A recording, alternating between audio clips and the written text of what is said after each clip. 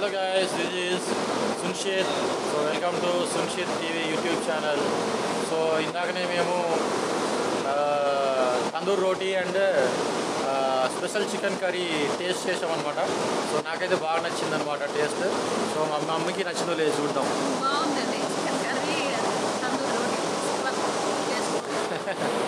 so మా mummy కూడా బాగుంది అని చెప్పేసి